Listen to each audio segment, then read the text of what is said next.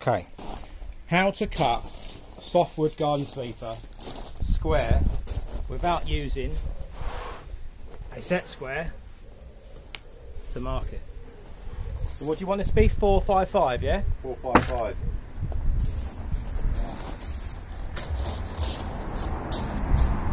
Measure how long you want it. 455 in this case.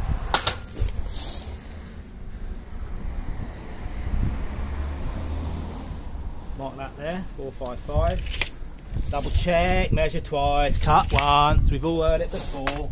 Still get it wrong though. Got to rev it up first as well. Doesn't work if you don't rev it up. Right, what I'm going to do is get this edge parallel with the edge of the sleeper because the sleeper's cut straight. So all I've got to do is keep that edge parallel with the opposite edge there every time and I'll be alright.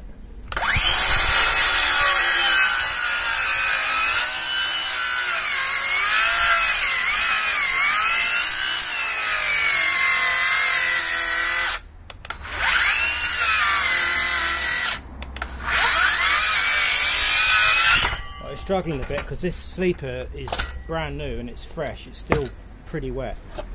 So you can see that there.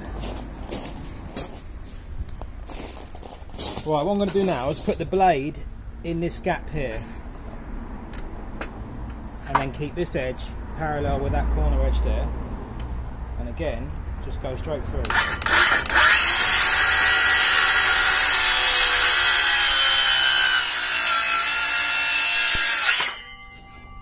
Flip it over. Next bit, put the blade in that gap you've just made there.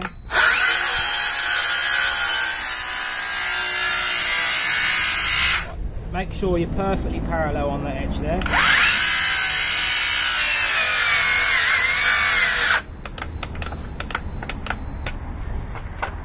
Could do with a fresh battery really.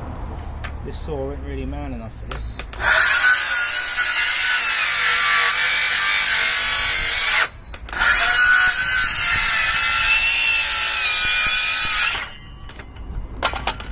Right. All the way through. That's the face. There's no differences in length there. It's all the same. It's about half a millimetre difference there. That's perfectly flat.